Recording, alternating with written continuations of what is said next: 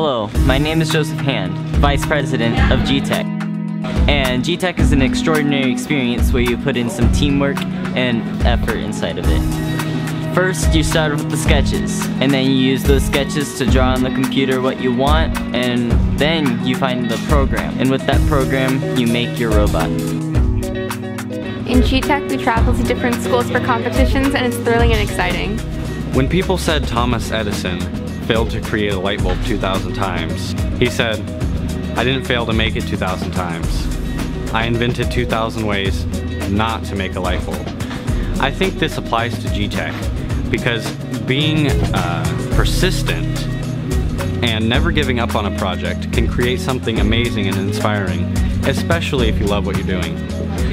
If you have a passion for robotics design or engineering, then I would highly recommend you join GTECh because doing something you love with the support of others is an amazing feeling.